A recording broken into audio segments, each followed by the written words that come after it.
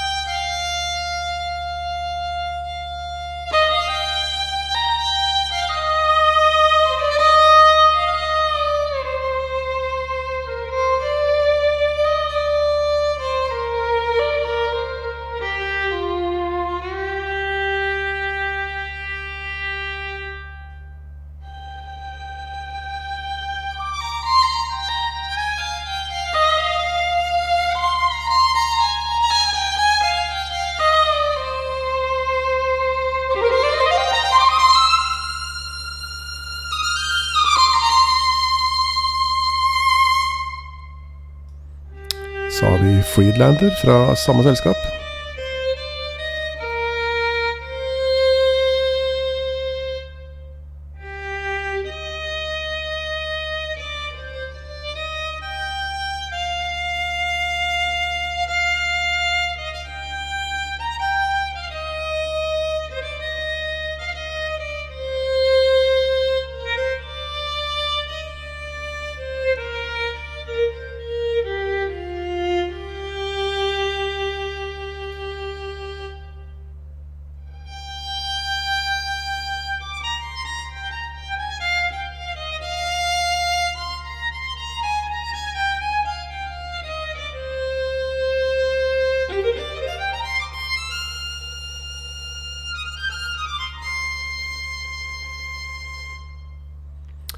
Så har vi Cine String Solo fra Cine Samples.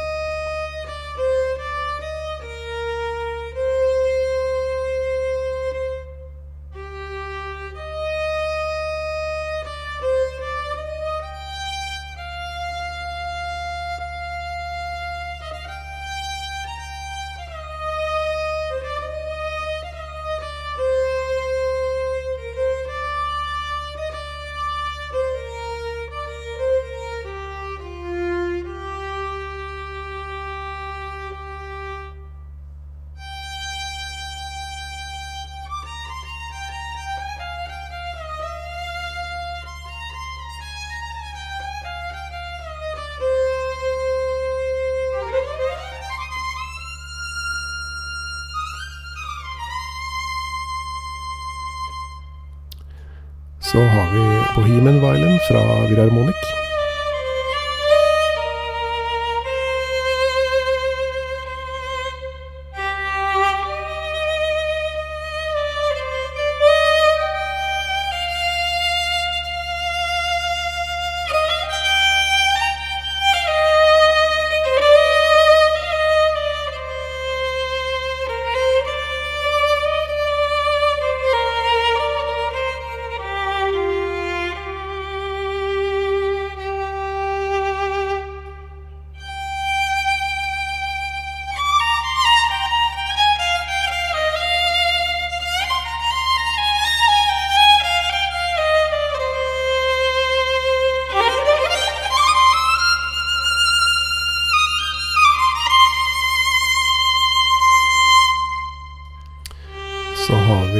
Solofiolin fra ATO Anthology-serien.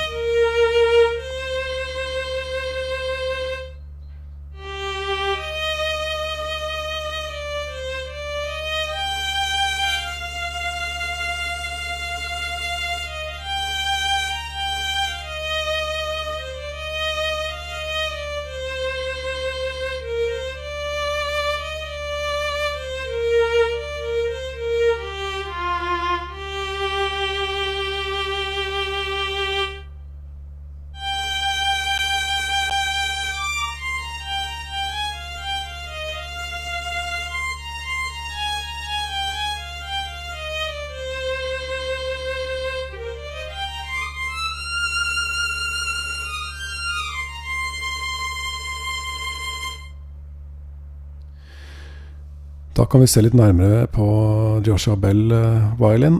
Den er jo fra Emberton, som sagt. Og de har god erfaring med, med sampla instrumenter.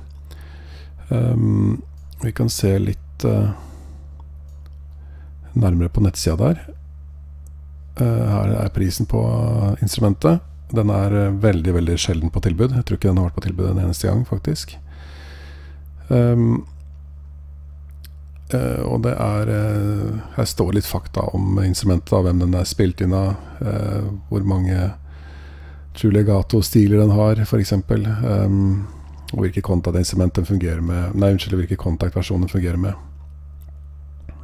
Den er Ja, den låter helt fantastisk, da. Har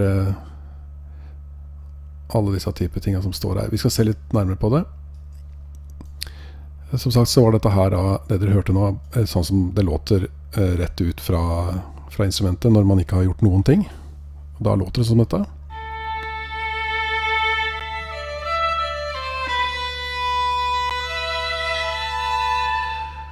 Eh, så kan man ta på legatoen, selvfølgelig, som ikke har poli.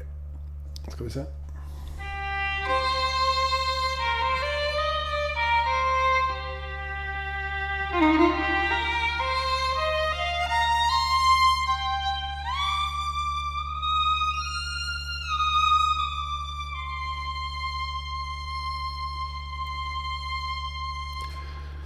Dette er et instrument som låter veldig veldig bra med en gang du tar det opp, egentlig. Og det har eh, På en måte kan man spille rett inn uten å endre noe uttrykk, fordi den rett og slett har en automatisk endring av uttrykket ut ifra hvordan du spiller.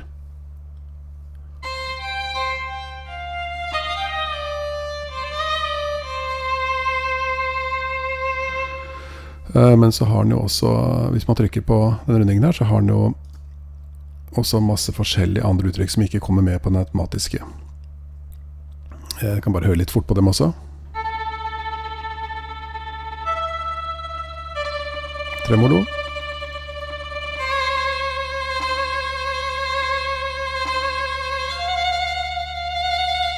Stakkato.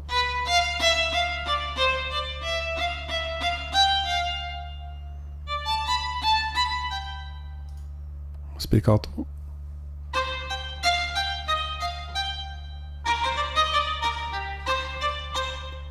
Så er det en rikosjett. Det betyr jo egentlig at det, det hører du egentlig. Tonen går igjen som en uh, kjapp uh, tilbakeslag, på en måte. Og ut ifra hvor hardt jeg trykker tangenten, så endrer jo lyden seg ganske mye.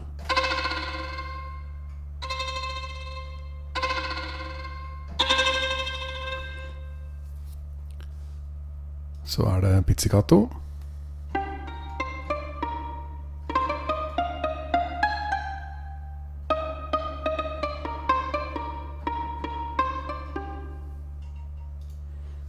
Harmonic.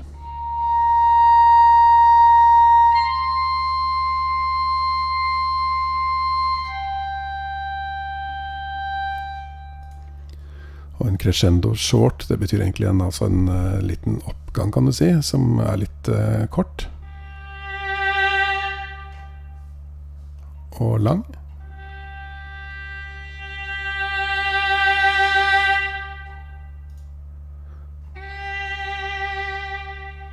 Nedgang som er kort, og en nedgang som er litt lengre.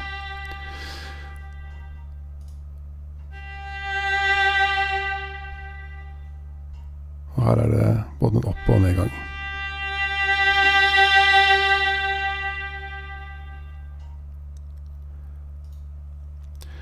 Og så har man alle disse her også i Sordino. Det betyr at det er eh, rett og slett eh, dempa en del frekvenser. Eh, det er satt på egentlig Vanligvis er det satt på en, eh, en dempe, kan man egentlig kalle det, da, på, på strengene på, eh, på, fiolinen.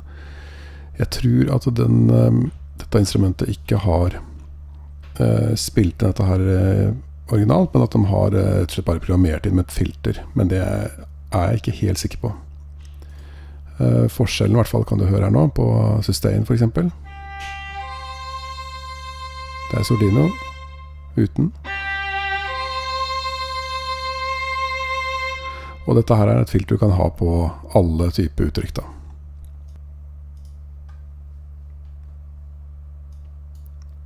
Ja, så har man også sylpont, eh, som betyr egentlig at man har spilt eh, Eller tatt bua egentlig nærme brua da, på, på fiolinen, altså langt eh, ned på fiolinen.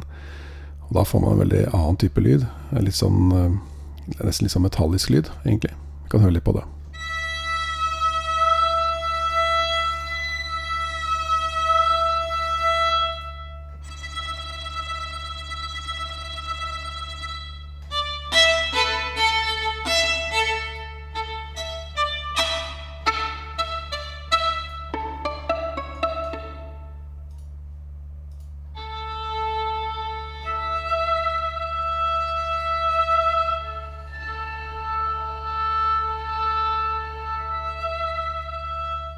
De også litt forskjellige eh, toner kan du si, på, på, lyden på fiolinen som man kan legge til hvis man vil. Man har f.eks. den eh, vanlige lyden, da. Og litt varmere lyd.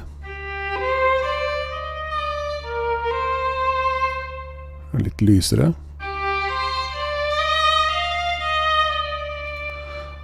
Og delikat det er jo egentlig veldig nærme den varme lyden, syns jeg.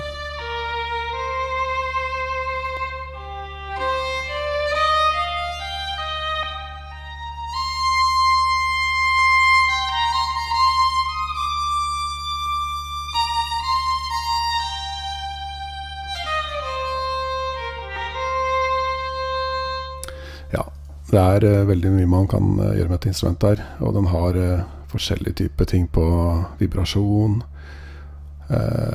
på attack og på speed. Den har eh, mye du kan egentlig sette sammen eh, når man blir litt kjent med instrumentet, da. Greit. Det var uh, Joshua Bell-fiolinen. Da går vi videre til, uh, til, Friedlander, som også er fra Emberton, men som er et mye eldre instrument. Vært ute på markedet i ganske uh, mange år, egentlig. Uh, og sånn er dette her når det åpner uh, Det jeg forresten glemte å si da med Joshua Bell også, er at den har forskjellige klanger. Jeg bruker ofte bare mine egne klanger, så jeg tenker ikke så mye over det, egentlig. Om det ligger en uh, forskjellig reverb av konserthaller og sånn inne på disse instrumentene, så er det veldig noe Jeg bruker det veldig sjelden. Det hender at jeg tar på noe for å på en måte skal si for noe, hjelpe instrumentet til å på en måte bli plassert litt i rommet. Det hender det har litt å si, faktisk. Men som regel ikke, altså. Så hvis man ser på denne Friedlander også, så har den en helt annen tone.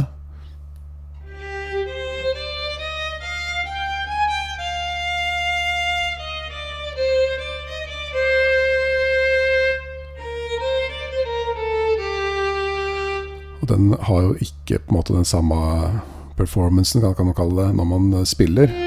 Når man spiller rett uh, ut når det på en måte er åpna instrumentet, så må man gjøre ganske mye jobb for å få det til å låte riktig. Joshua Bell har på en måte allerede noe som gjør at man, man kan spille inn uten å måtte endre altfor mye. Men selvfølgelig må man endre hvis man skal ha spesielle uttrykk, ja, stakkat og sånne ting, så må man legge inn det. Eh, og, og programmere det inn, rett og slett. Men, eh, men en Friedlander her, den har egentlig ikke så veldig mye å gå på der, så man må gjøre ganske mye. Men her bruker man dynamikk eh, mye mer, så man bruker egentlig modwheelen på keyboardet til å styre dynamikken og, og vibrato. Jeg skal prøve litt å vise det litt nå.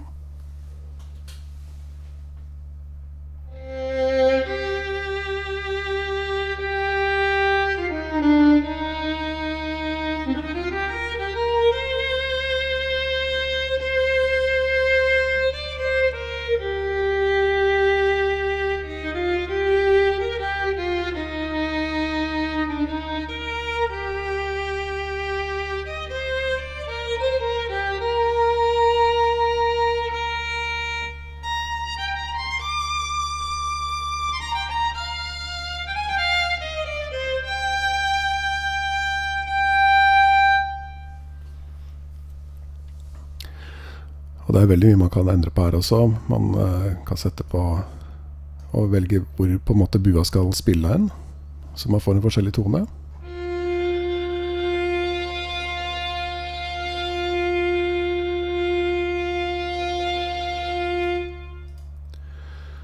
Og så har man selvfølgelig stakkato og pizzicato og tremolo. Har også Sordino her, og Sulpont og Sultasto. Så det er liksom Man har egentlig det, det man uh, på en måte trenger for å, å bruke en solofiolin da, i, et, uh, i en låt.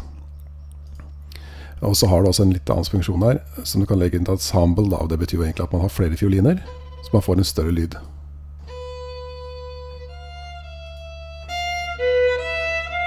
Nå var den veldig lav her. Uh, skal vi se Ja, ok, jeg må putte på litt flere.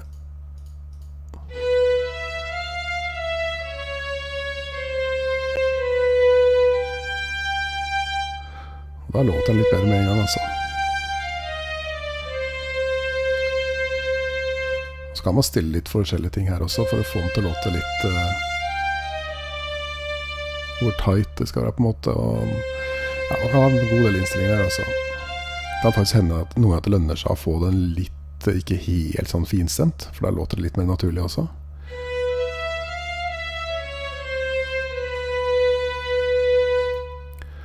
Som du ser, så har den mye innstillinger her også, som man må bli kjent med. Jeg går ikke i detalj på disse tingene her. Uh, det er litt lenge siden jeg har brukt dette instrumentet her også. Men det låter, uh, det låter veldig fint, altså. Så forskjellige vibratostiler her også.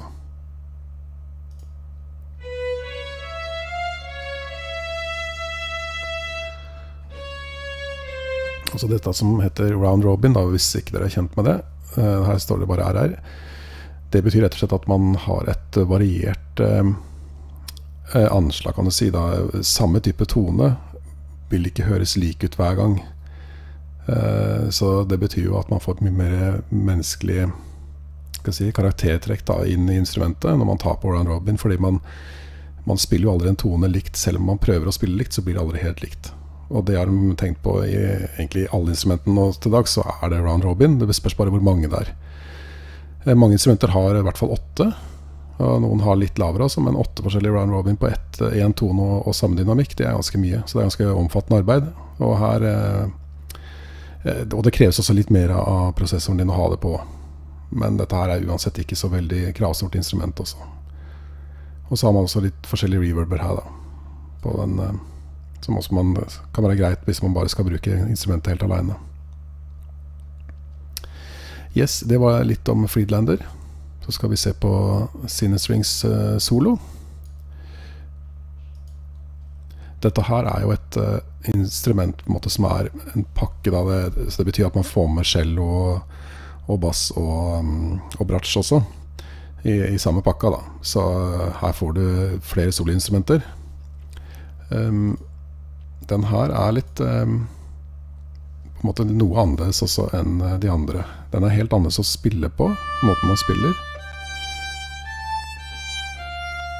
Den låter litt sånn folkaktig, syns jeg.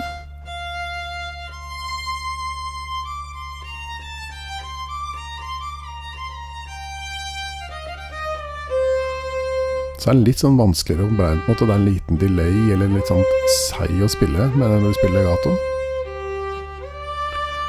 Og så er det, hvis man, ikke, hvis man trykker for hardt, så får man alltid portamento, altså den glidende tonen som du hører her.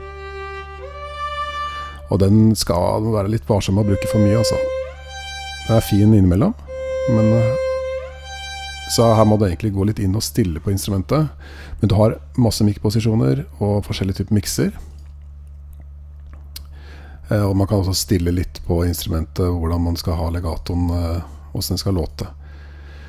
Men den har eh, Du kan se intensity, og på speed-kontroller så kan man velge litt og sette begrensninger på en måte for det som ligger inne, sånn at du ikke går over visse grenser eller speed. Da. Og speed det betyr jo egentlig Det er jo rett og slett åssen legatoen skal låte, hvor raskt du kan spille tone uten at det høres uh, rart ut. Uh, det den sannsynligvis gjør der, det er at man kutter da den uh, overgangen da, mellom tonene den blir kutta i samplinga, sånn at man får en kortere overgang, og at det høres riktig ut å spille det raskere. Så eh, det, dette her er også ligger en motor bak som skjønner hva du, du spiller på, så du skal forstå noe av det. Men så kan man også finjustere det litt her. Og det samme på hvor intens den skal låte. altså. Så De har litt sånn automatiske kontroller, men du kan også skru av og stille det helt sjøl hvis du ønsker. Og den har også en del EQ-filter og delayer og distortion faktisk også, og kompresjon og sånne ting også. Dette er jo ting jeg ikke bruker, for å være helt ærlig. Jeg bruker veldig lite av disse tingene her.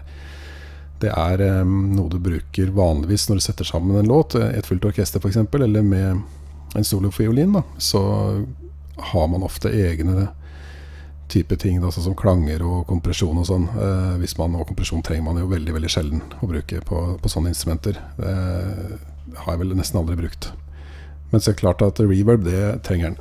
Det skal få høre litt etterpå, med reverb også, og høre hvordan dette her endrer seg. Yes, det var litt om den. Den er ikke fullt så enkel å bruke. Tar litt lengre tid eh, å få dette her eh, til å låte bra. Litt samme som Freeliner, egentlig, på den måten. Har også litt sånn folkelig tone. Uh, litt mer det enn den typiske klassiske tonen, sånn som Joshua Bell er veldig sånn, på en måte en klassisk fiolin, hvor, hvor man uh, kan lett plassere det inn i et stort orkester. Freenlader og Sinnersing Solo uh, føler jeg litt annerledes på akkurat det. Men de har veldig fin tone, begge de to også. Greit, da skal vi se litt på Bohemian-fiolinen fra Virharmonic. Dette er en fiolin som som har kommet ut for noen år siden, men, eh, og som var ganske rimelig med en gang den kom ut. Og eh, så sa også utviklerne at de eh, skulle oppdatere dette instrumentet, og det skal være gratis for den som kjøpte det til å, til å begynne med. på en måte, Så får du med alle gratis oppdateringene etterpå. Selv om det er store oppdateringer. Og det har det virkelig vært òg. Det har vært veldig store oppdateringer, og instrumentet har bare blitt helt fantastisk, rett og slett. Nå er det, dette her er sånn som det ser ut når man åpner instrumentet. Eh, og dette er sånn det låter.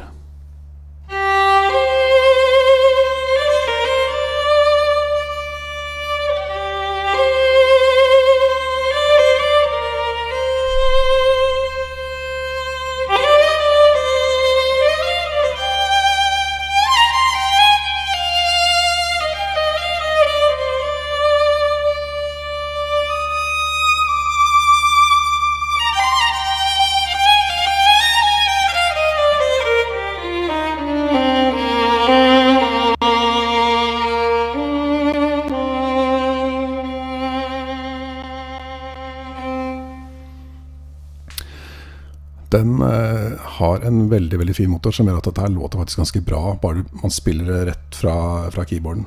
Det er ikke gjort noen ting. Det ligger en reverb inne fra før her. Eh, og så står den da på, på, en, på en, eh, en, spillestil som heter eh, improvisasjon, egentlig, da. Eh, og så har man forskjellige spillestiler. Den har f.eks.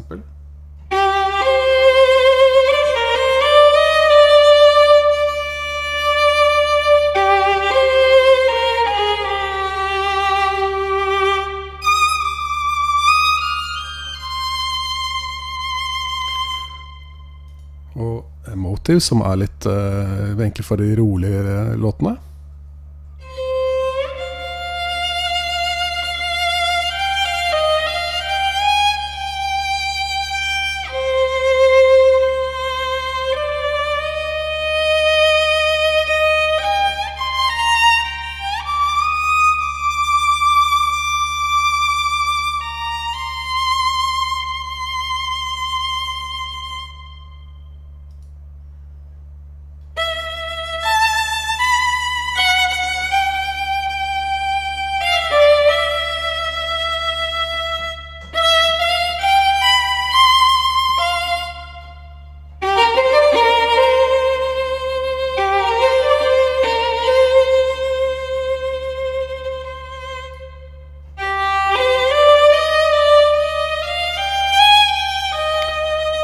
Concertino, det er jo mer den klassiske tonen.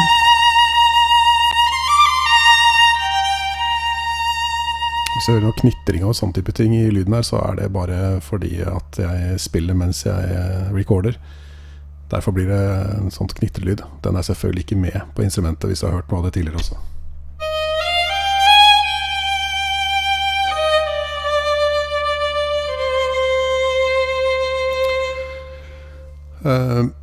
hvis dere da ser på, um, på den lista her, så vil dere jo se at den har også mange typer uttrykk.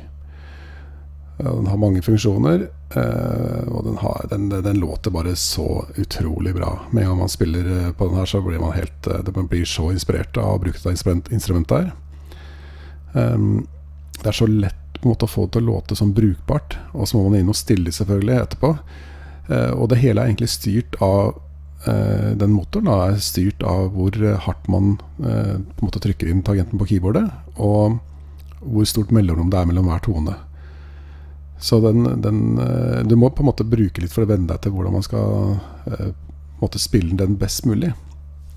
Men jeg har altså hatt for f.eks. Jeg har hatt låter på spilt på TV hvor jeg bare har faktisk spilt dette rett inn. Uten å stilt inn noe som helst. Så det er, det er faktisk mulig bare å, å, få noe som låter skikkelig bra, til uh, å bare, bare spille rett inn. Og Det er derfor de kaller det også en performer. dette her da ikke, Det er ikke et vanlig på en måte et bibliotek, men det er noe som du kan Egentlig er beregnet at man kan bruke på, på en konsert da, hvis man en, skal ha et en solofiolin tilfeldigvis i en eller annen låt eh, fra en scene, så kan man egentlig bruke dette instrumentet her og spille direkte av, så skal det låte godt nok. Selvfølgelig blir det aldri helt som en, eh, en vanlig fiolinist så ville gjort det. Det gjør det bare ikke. altså Man klarer ikke å få til det, i hvert fall ikke enda. Men det er veldig veldig godt instrument, og man kan få til helt utrolige ting med det. Uh, og så har den også dette med rebow, f.eks. Hvis man ikke ønsker at man skal måtte ta et ny uh, et bueskifte, på en måte, så kan man heller holde tonen. Noen ganger så kan det passe. På enkelte, enkelte ganger så vil de gjerne at tonen skal holde enda litt lenger. Selv om bua er jo bare så lang som den er, så man får ikke, egentlig ikke gjort noe med det. Men det hender at man kan trikse til litt. Grann. Så jeg prøver å høre litt på den bueskiftet bare her nå.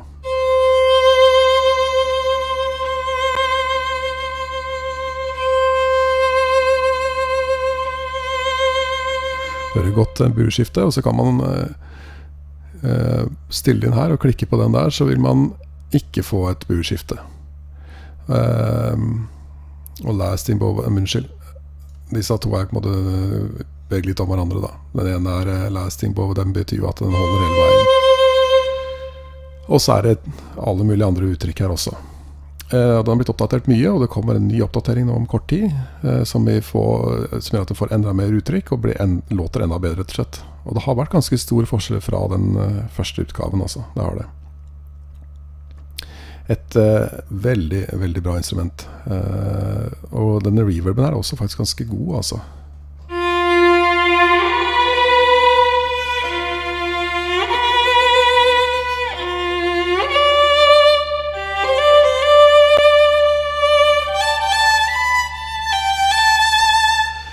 Dette er jo et forholdsvis dyrt instrument. Eh, jeg kjøpte dette veldig tidlig og fikk det veldig rimelig.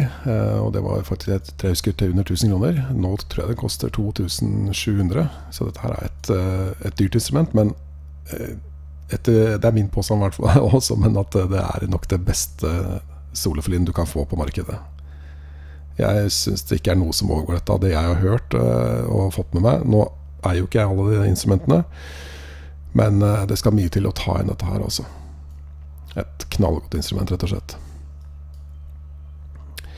Eh, så skal vi høre litt på, fort på ATO. Dette her er litt eh, På en måte ikke helt rettferdig sammenligning, egentlig. For dette her er et soloinstrument fra Anthology. Anthology er et stort orkesterinstrument, egentlig, eller symfoniorkester, med bare strykere i delen, da fra ATO. Eh, så dette her er jo ikke helt Det er ikke dedikert på en måte til solinstrumenter. Det har ATO på andre, andre biblioteker, hvor det bare er solinstrumenter som låter mye bedre. Men uh, jeg tenkte jeg tok med ettersom det er den jeg har, og den har på en måte den uh, i pakka si også. Så går det an å egentlig se på. De har også disse cello og bass og sånn også. Um, men den låter jo ikke så bra. Jeg kan høre litt på den her nå, altså.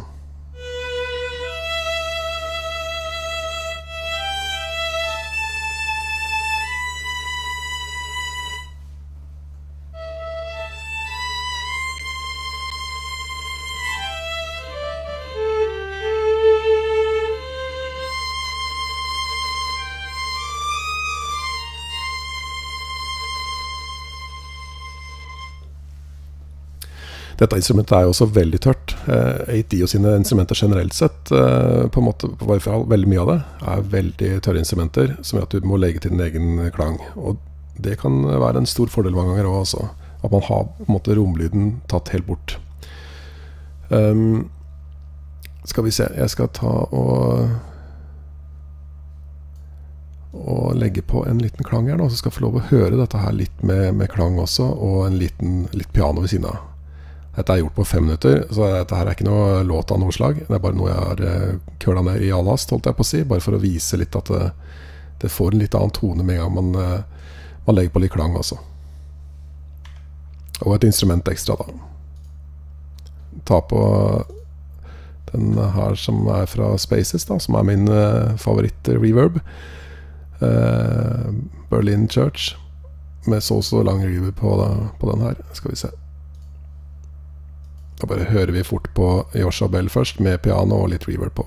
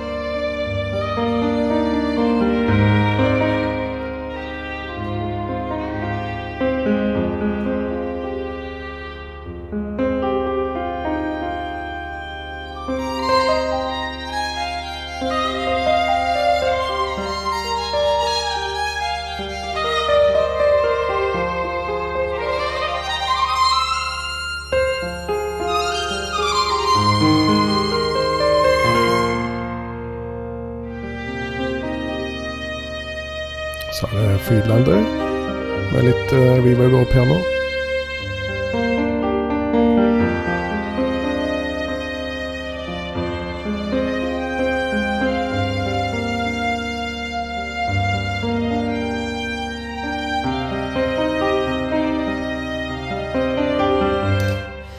Ja, dere skjønner tegninga.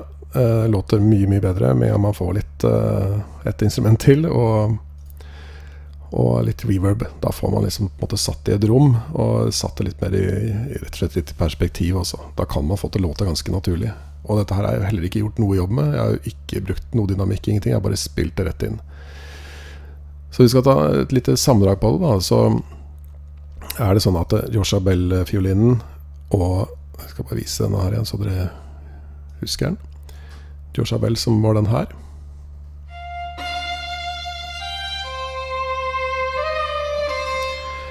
Den låter knallgodt, den også, med en gang man åpner instrumentet. Veldig fin lyd, og enkel å bruke også. Friedlander, et litt eldre instrument fra samme, samme utgiver. Krever ganske mye programmering for å få den til å låte bra. Men den har en veldig fin sånn folketone som, som absolutt er verdt å, å, sjekke ut. Og et litt rimeligere instrument også. Ligger under tusenlappen nå. Så er det Sinistring Solo, som er en del av, et, uh, av flere soloinstrumenter.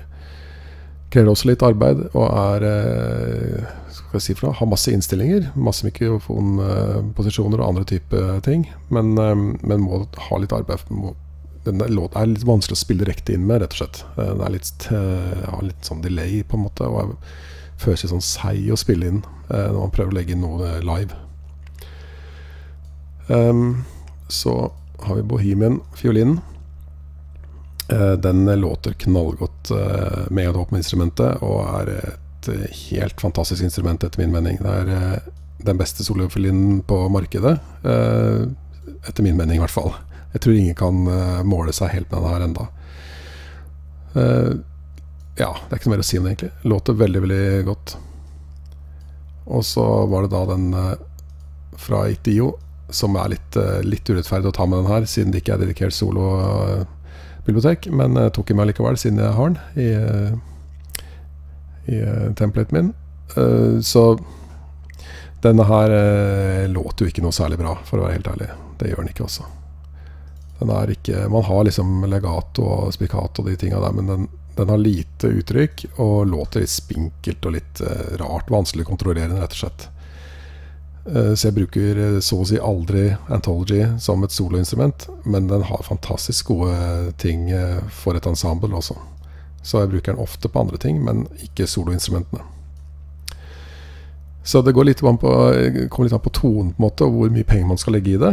Eh, vil du ha den beste fiolinen, kan du si, så er det Bohemian Violin, som koster godt over 2000 kroner. Eh, og du får bare det instrumentet, men du får et, da til gjengjeld et kjempegodt instrument. Eh, Joshua Bell ligger på akkurat 2000, og er fantastisk det også, i tone og alt. Men den er mer i den klassiske type tonen, eh, som er lettere kan du si, å plassere i et eh, i et orkester. Hvis du hører på Bohemian, så har det en veldig sånn uh, lyd av måte, litt sånn, skal kalle det, litt sånn treverklyd. Uh, man hører på en måte instrumentet litt mer nært og intimt. da.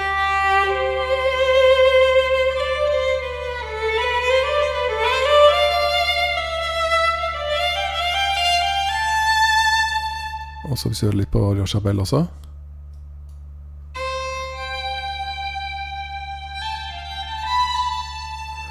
så føler jeg den er litt lettere å plassere. Så det hender noen ganger at jeg har litt problemer med å, å plassere Bohemian inn i et stort orkester. Men eh, jeg får det til etter hvert. Og jeg, på en måte så ender jeg ofte opp med å bruke Bohemian-fiolin. Nå har jeg ikke hatt Joshua Bell-fiolin så altfor lenge, så jeg har ikke fått, uh, fått prøvd den så, på så mange forskjellige typer låter. Men uh, det er de to det alltid står om, egentlig. enten Bohemian eller George Bell, for min del i hvert fall. Eh, men jeg har også lagd låter med andre solinstrumenter som har vært eh, gode også. Det bare er mer krevende. Yes, det var litt kort om, eh, om solofioliner. Så um, tror jeg vi sier det sånn, jeg. Ja. Så snakkes vi. Ha det bra.